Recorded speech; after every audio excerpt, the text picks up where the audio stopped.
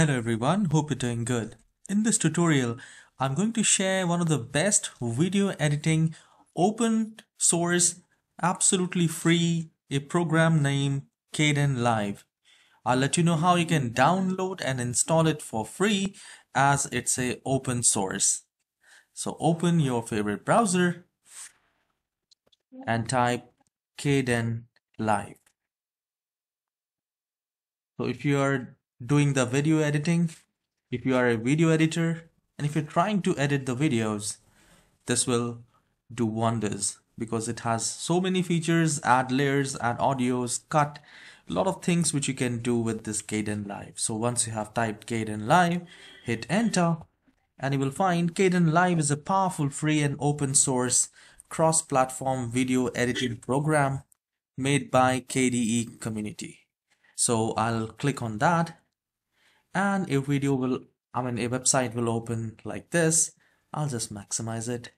And here at the very top you see kdenlive.org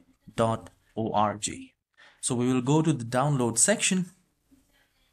And here you can download and install it for Windows for Linux and for operating system Mac OS so here since I'm using the Windows I'll select installable and a file a very small file will start downloading.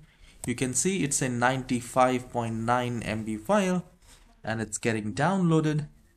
The best part is it's not very um, resource consuming. So you can try with that.